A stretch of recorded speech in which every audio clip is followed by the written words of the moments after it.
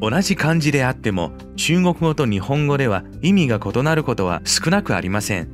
そこから着想を得て中国在住の日本人新出かな子さんは中国語と日本語の意味を融合させ7などのキャラクターシリーズである漢字源獣を作り出しました。私はあのかねてからあの文化交流事業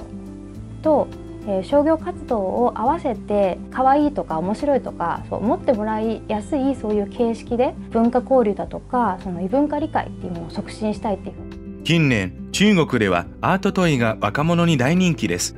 市場の盛り上がりを受け新礼さんもビジネスチャンスを乱すことができました。起業を始めてからの2年半ですね。えっと、これまではまあ漢字源獣というコンセプトをもとにまあたくさんのキャラクターを作ってであとはまあいろんなイベントに参加してきました。で今年からは本格的に製品を作っていきます。この日新出さんはコラボ製品の打ち合わせのためパートナーブランドであるドドオのオフィスを訪れました。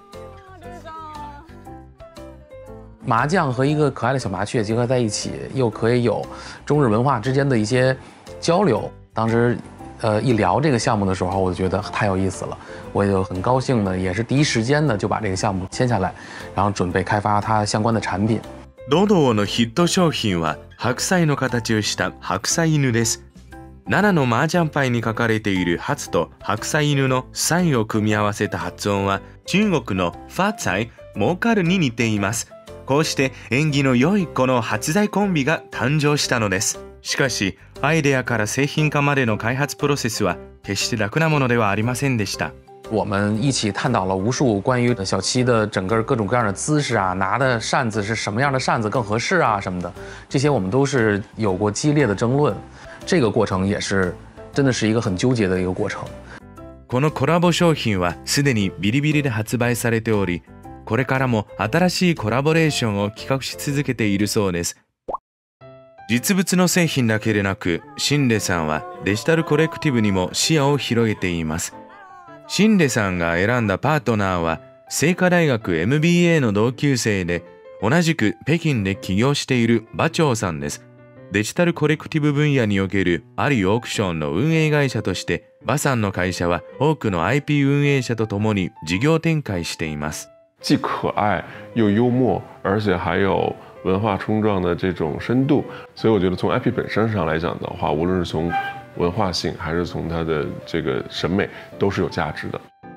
今後も新出さんの創作活動を通じ、より豊富なパターンやポーズの7がプラットフォーム上に登場し、より多くのデジタルコレクターのニーズを満たしていくことでしょ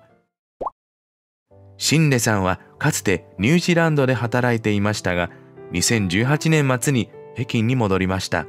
えっと、実は中国、まあ、たくさん理由はあるんですけれども人口の多さ機械の多さそれからクリエイティブに対する需要度の高さこの3つですね。クリエイティブ新しいものに対する受け入れ度が高いっていうことはすごくあの私たちにとってはあの魅力的な市場だっていうふうに考えてます。スタートアップの企業にとってはその市場検証だとかそういったものを効率よく低コストにすることができるという利点があるということですね。ずっと北京にいて、まあ、仕事生活をしたいという気持ちがあります。今まず中国は成長している段階で変化も早いので、まあ、その変化の中からいろんなインスピレーションだとか啓発を受けて日本と中国の、まあ、次世代の、まあ、若者が、まあ、これからまあ、友好的に平和にこういい関係を作っていけるような未来に向けてあの一緒に授業をしていきたいというふうに思ってます。